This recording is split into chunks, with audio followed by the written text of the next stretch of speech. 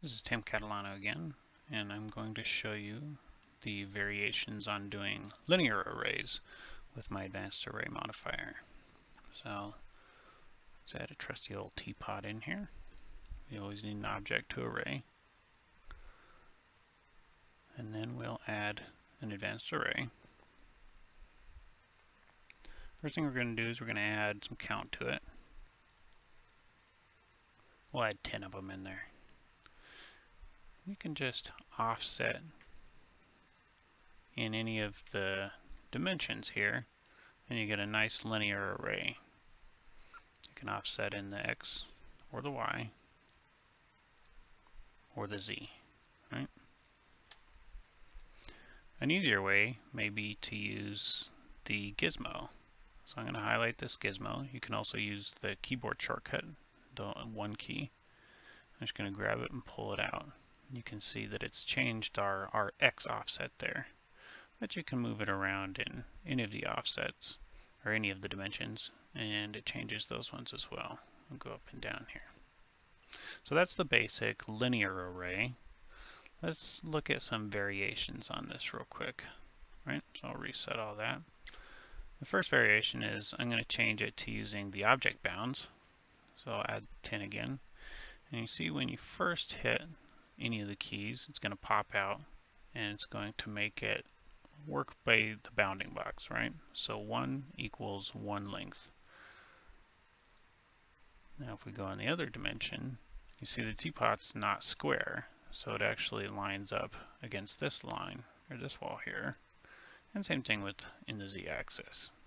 Going to line it up. So that just kind of makes it easier when you want things to line up, which is convenient too if uh, say your object is changing size lower in the stack, it's going to keep your array, uh, you know, bound to that distance there.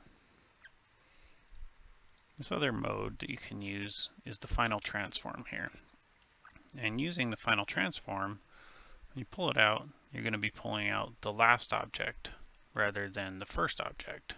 It's a little bit easier when you're trying to do a whole bunch of different things. Like say you don't know how many you want at first, you just know that you need to fill up this much space. You're going to add however many that you want to make it look right and you're done there.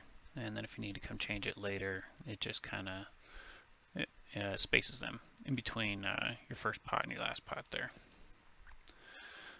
An important concept to understand with uh, advanced array and with linear arrays is, is the concept of stacking your arrays.